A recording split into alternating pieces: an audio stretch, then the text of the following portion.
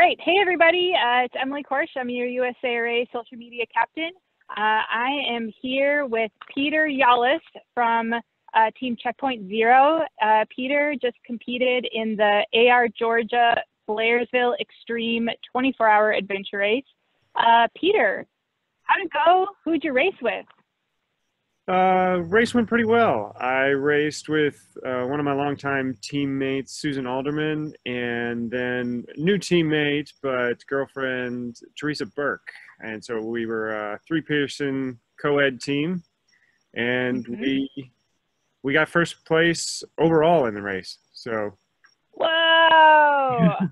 Pretty- so everybody, we are hearing straight from the winner of the Blairsville Extreme 24-hour adventure race. Congratulations! Thank you. Um, how did how did the race go? Were you leading um, from start to finish? Were you back and forth? Kind of how did it unfold? Uh, we were not leading.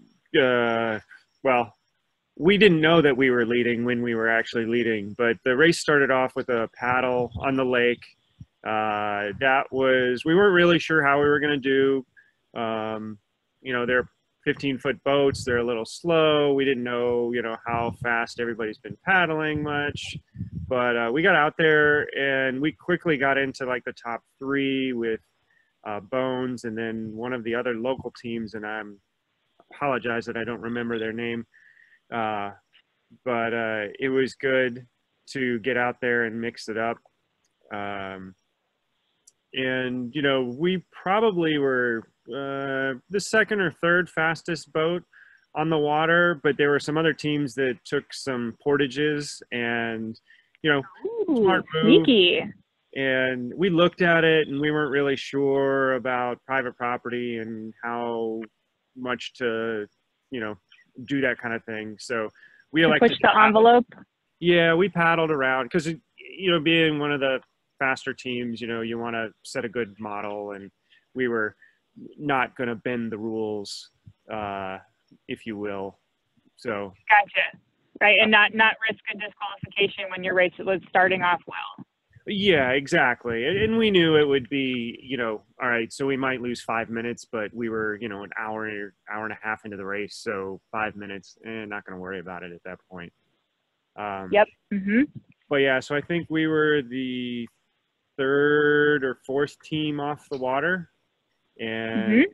made a quick transition into bike and rode up to some single track. And then we were, it was hard to tell. We figured we weren't in the lead yet, but I think by the time we finished a little short bike, oh, we were in second or third place. And I think we actually were in third, leaving that as we passed one of the other teams.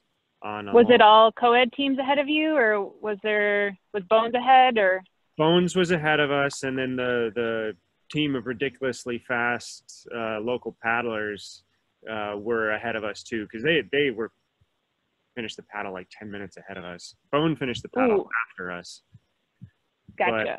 but they made a and just for the record bones was a two person male team this time around right? Yes it was two person male and uh, okay.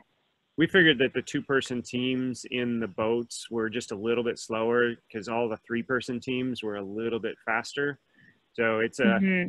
sometimes having the tuning your team size to the equipment that you're going to get is a good good idea. And so if we had been a four person team like originally planned, we would have been two and two, and we probably yep. would have been 15 minutes slower on the paddle overall. So three person, good size when you're paddling Jeff's boats. Right. There you go. For all future AR Georgia teams, three person is the ideal team size.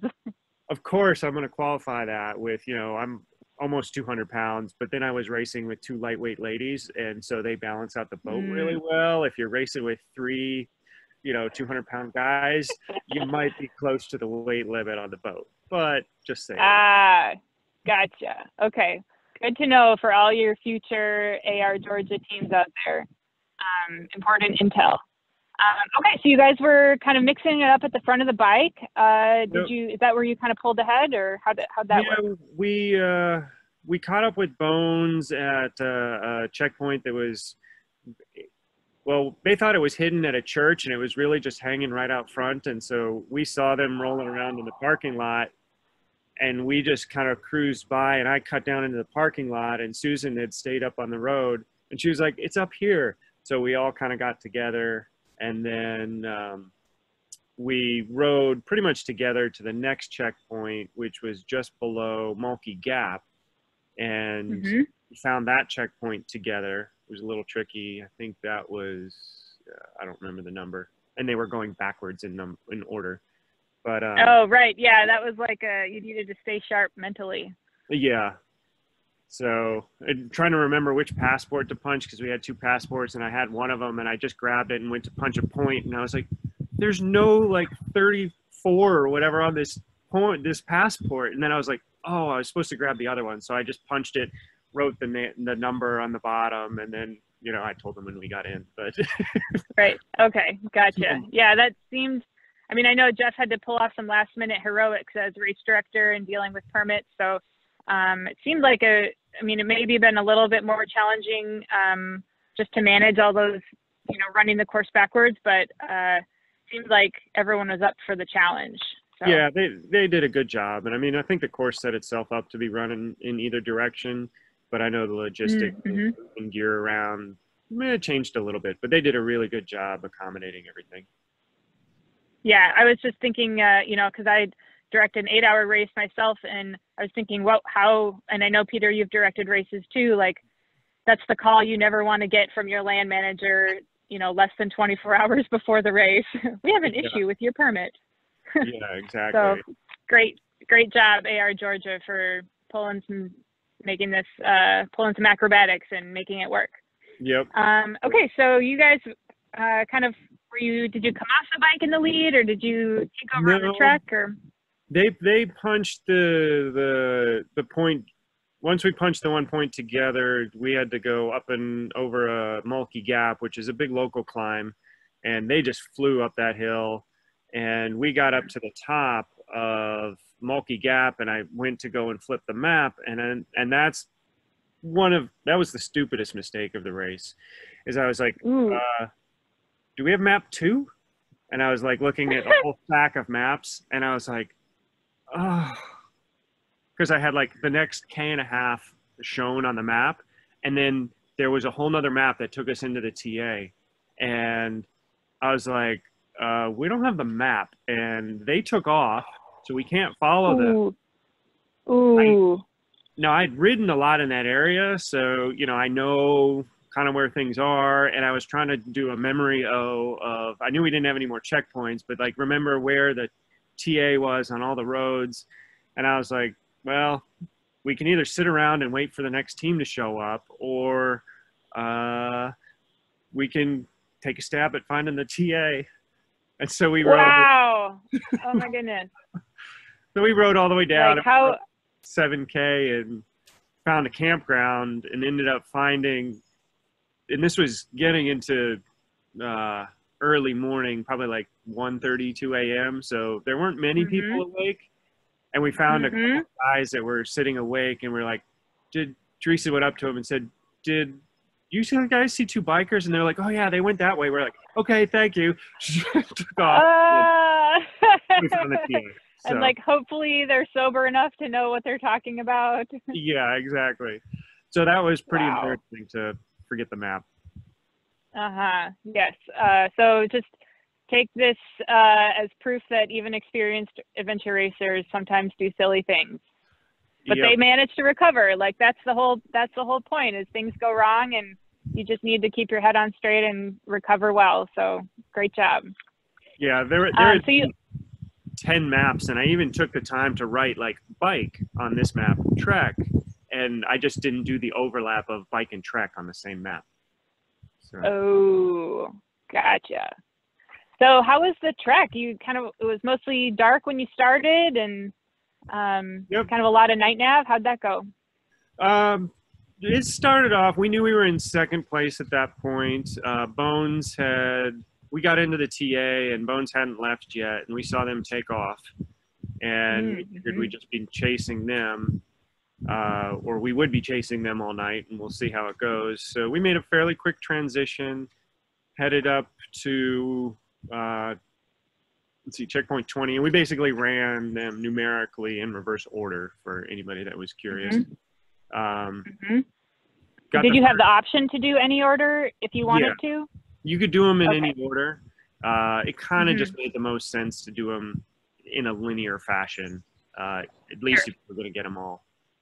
And uh, so we got the first one just fine. And one of the uh, local camera guys, Jim Farmer, started following us. And I'd given Teresa the map because I was fiddling with my pack or trying to eat something. And so she was navving. She navved us perfect to the first point, And then Jim started talking to us. And she got a little bit distracted and had followed the map and there were two spots where it ran north and we were running north and she's like all right it's just up the hill so we like clomped up the hill and then kept climbing and kept climbing and uh, she was finally like yeah we've gone up way too far and i was like i thought so but i didn't have the map and Yeah. Uh-huh. look at it and realize like we had cut up to the left you know maybe 150 meters early and Oh. and Jim had been following along, and he knew the whole time, and he didn't say anything, and because he had, he was like, "Yeah, you cut up way too." he had his GoPro going the whole time, and was, you know, I can't wait to see, you know, the commentary on, you know, that the subtitles. Like they think they're going to the right point, but they're not anywhere close. right. Wah wah. So, uh, but yeah, that was a kind of our.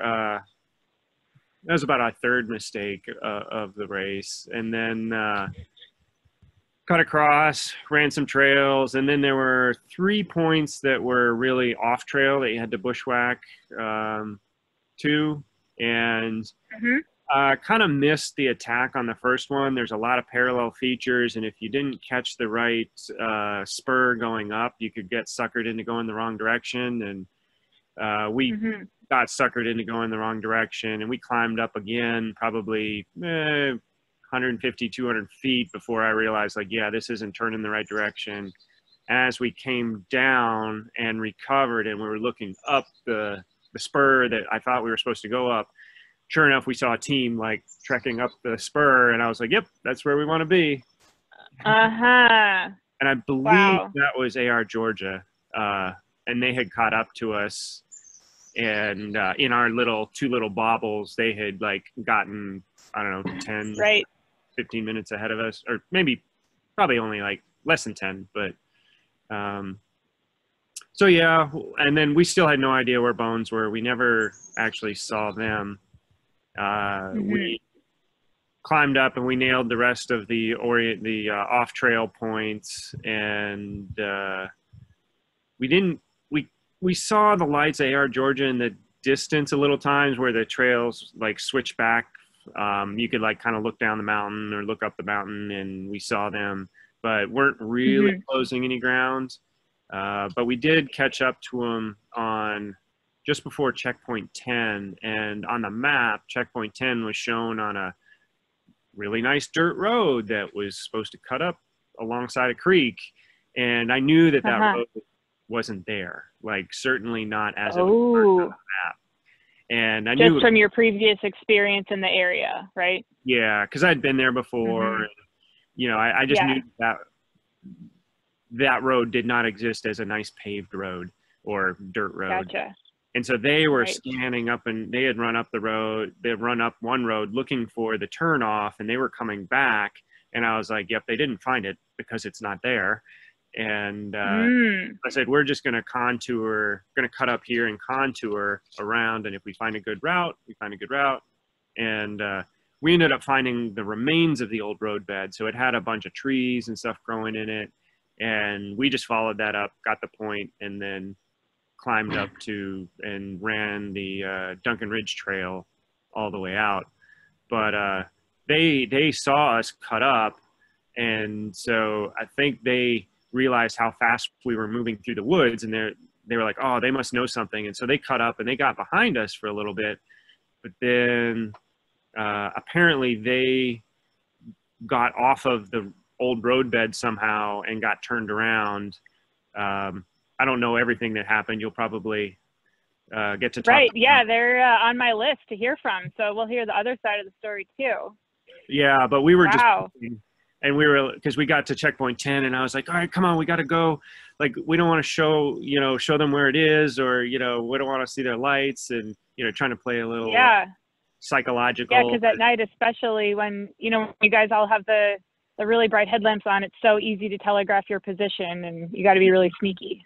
and so we were like covering the lights and like turning around and looking and seeing ah i don't see him let's go and we like kind of like all right let's let's run up this trail a little more and then we're going to cut up into the woods and let's not let them see us where we cut up and because you just don't want to Mm-hmm. they were a fast team and i respect their navigation but i don't want to give them anything you know not that i would Right. expect them to mess up but you know hey uh you know it was actually kind of nice because we didn't see a lot of people once we got out onto the trek and the bike and so we were able to run our own race and not play follow the leader which you know Right. sometimes happens Yep. Well, I just think it's so exciting. Like I, when that happens, you know, in a race and you're trying to sneak, be sneaky on another team, it, you just totally feel like a kid and like, yeah you know, it's just, it's, uh, you know, it's a good strategic decision, but it's also like just enjoyable, I think. Um, Yeah. especially when it works out and it worked out for you guys. So great job. Yeah. And, you know, sometimes we have code words when you're all kind of looking around in the same area and you have a little code phrase that's like, not like, oh, hey, it's over here. You're, you're like, oh, does so and so have the, the, this snack or something like that? And then you know, like, oh, okay, it's over here. Let's go. right. Bing, the light bulb goes on, like you found the point. Yeah. How Yeah. fun. so, So you did you kind of have an idea on that when you finished the it was a point to point track, you got on your bikes, it seemed like a pretty straightforward ride to the finish line. Did you kind of knew know you were in the lead? Um, how did that last ride go? So when we just after we had found that checkpoint 10, we had found a headlamp, some aqua tabs, and two uh, sets of like Shot Bloks on the trail going up. And we're like, oh, Bones must have dropped these. They're ahead of us. All right, so we'll just uh-huh. keep on going. We're probably in second, and you know, so we got up on the ridge line, finished the trek out, and we were we we actually commented at one point. We're like, man, they must have really been cruising because there's a lot of spider webs across the trail, and there's some big spider webs. Mm, And we were like, mhm. yeah, they're probably like two hours. They ran this whole thing. They're two hours ahead of us, and we're like, all right, probably won't catch them, but we're just gonna keep moving. And we got into Uh-huh. the TA, and we were like, ah, so how long ago did Bones get here? And they're like, uh, no, they haven't gotten here. We're like, nobody's ahead of us. They're like, no, and we are like, oh my gosh, let's go, let's go. Right. like we got a bogey out of here. Wow. Yeah, because we had no idea where anybody else was, and we had never. We kept expecting AR Georgia to be running up. Uh, you know that that Duncan Ridge Trail is really steep in places, and it's really tough to like technical, not scrambling, but like really slippery rock. And so you know we were going kind of slow at some points, and uh, Mhm. Teresa had had a little bit of a hard time. She got really tired from like two to six, and you know Mm, yep. that kind of like sleep monster. The witching hours. Yeah. And uh, Mhm. yeah, once we got on the bikes, it was just like, all right, time to haul butt, let's go. And uh, we knew we were leading, and it was just kind of like trying not to look over your shoulder the whole time and Yep. uh, hope that, you know, you can hold on to it. Right. And Yeah. so, yeah, Exciting. So you made it. You got your uh, last checkpoint, made it into the finish line. And uh, were the eight hour racers like there to cheer you in, or had they already started on their race? Or there was pretty much nobody there. There, awesome. there were a couple of volunteers there that were running the the, uh, the final check-in and the computers, and but nobody was there. Like no photographers, no you know, and it, it was. I think we just got done a lot faster than they expected because Jeff had said, "Yeah, it might take 24 hours," and I've extended it to 26, and we finished Mm, in 18 hours and 45 minutes. gotcha. Well, and it also doesn't help that, I mean, I'm sure uh, COVID precautions, like you don't want a lot of spectators anyway. Yeah. Um, so you're already kind of starting from a kind of low place in spectator, but that's always like, you know, that last sprint to the finish, especially when you think you have a team right on your tail. It's pretty amazing what teams can do. Like that's a very motivating situation. yeah, it, it really is, you know, and you're like, oh, I'm so tired. I so just want to lazily pedal up this hill, but we gotta go. right. Yeah. Awesome. Wow. Um, okay. So congratulations on the win. That's just, it's so great to see. Um, and like personally, I just always love it when a co-ed team take the, takes the overall W. Um, that's just kind of, you know, what we like to see in the sport is our co-ed teams like really crushing it out there. Co-ed especially if you're ladies. Right. Yeah. Especially your one man, two women team. They were so great to see. And I know those chicks are super tough. So great job. I guess I'm kind of, Um, okay. I'm spoiled by racing with fast ladies and, you know, probably get a lot of hate because I should be sharing, but no, I love my ladies. hey, I mean, that's part of being a good teammate. If a lot of women want to race with you, that you know that, you know, you're able to um, be a good teammate to them. So just keep doing what you're doing. Um, all right. Did you have any food or gear, uh, snafus, or anything that worked especially well for you out there? Uh, our nav, we made the couple of nav errors. Um, you know, recovered from them kind of quick. Uh, I think the only gear issue we had, Teresa, they, Teresa wore some short socks and calf sleeves, and so there was a little bit of a gap in between, and so Ooh, I know that gap. she didn't really suffer that much during the race, but today is kind of hard.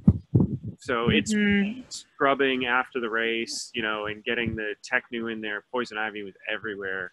Uh, Yeah. really sensitive right on that, you know, front part of the ankle. So uh, we're Mhm. going to make sure she gets some inch or two longer socks to close that gap for the next time. Right. Yeah. Oh, yeah. What a great tip, though, because you kind of think, oh, it all, you know, everything's covered, and then just one little piece of poison ivy, and then especially when it sounds like you guys had quite a bit, that's gonna make life a little miserable for a couple days. Yeah, we, I mean, thank goodness for Zanfel, and we washed and scrubbed after the race. But I mean, I we're gonna get something. There, like the last two checkpoints, the entire mountains were covered in poison ivy. Ooh. I've never seen that much poison ivy. Uh, Literally, Yeah. mountain, like the whole way up, was it was just Oh. Terrible. Yeah, and you just look at it and you're like, well, I guess I'm gonna find out in 24 hours, like Yeah. how much of this we actually made contact with. So, wow. Um, does uh, do you guys at Checkpoint Zero do you have any new or next races on the calendar? Anything you're kind of looking forward to? Uh, there's a couple of races coming up. We're not sure which ones we'll get into. There's the in cars race, I think, on November 7th. Uh, I believe it was sold out. We may be able to pull a few strings and get into that. Mm, yep. Is that the the Pisca 10? the Pisgah race, yeah, it's fantastic area. In cars always puts on really fun races, so we we we try to do that one every year. And you know, we didn't sign up early because we just you know with all the COVID stuff, we don't really know. But that's a great one. And if we don't do that. I think the weekend after that, there's the Sheriff Posse AR in Alabama. Uh, The and- Oak Mountain? yeah, and so we may go and and try that one uh, as an alternative. So hopefully we'll be at one of those two. Right. Okay. Great. Um, now, before I ask my last question, uh, I just want to, I didn't mention this in our intro, but I just want to make sure everybody, Peter, they may not have seen you on the Eco Challenge coverage on Amazon Prime, but just really briefly, will you confirm to everybody that you were indeed there with Checkpoint Zero? Yes, yes. how'd that race go? I did race in Eco Challenge in Fiji last September uh, with teammates Shane Hagerman, Chris Von Enz, and Michelle Hobson. We finished, we got 20th place overall. We finished in eight and a half days, if I remember correctly. Uh, we had a great time. It was uh, definitely a challenging course. Uh, I think uh, we'd hope for some more nav, make it a little bit tougher in the Mhm. nav because we we think we would have done a little bit better because we are a stronger navigating team. Um, but you know the the race course was fantastic. They mixed it up really well. The uh, the people there were awesome. I mean, this is all stuff. If you've listened to Randy's interviews, I mean, everybody said the same thing. Uh, but hmm yeah, really, the logistics for the race were unbelievable.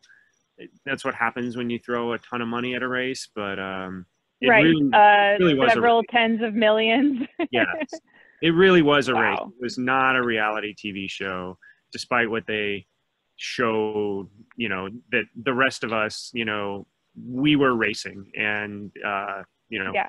that's what we went there to do, and and so it was definitely. So did any of the did any of the gear that you used this weekend still have a little bit of Fijian mud on it, or were, were you able to clean that out?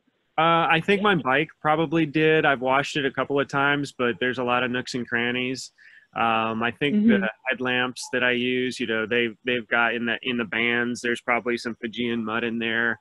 Uh, hmm I didn't use the same pack.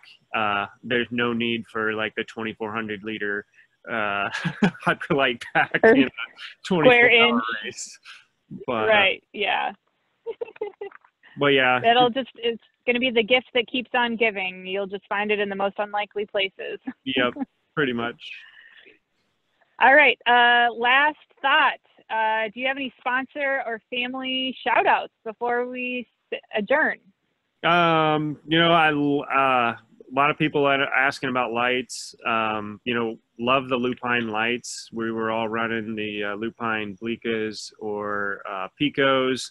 You know, had the makes for switch quick switching between helmet and headband. You know, they're a little overkill sometimes, but you know, um, I don't think you can ever have too much light. Uh, so really, really, Right. Yeah, that's hard. It's hard to complain about being able to see things too well at night. Yeah.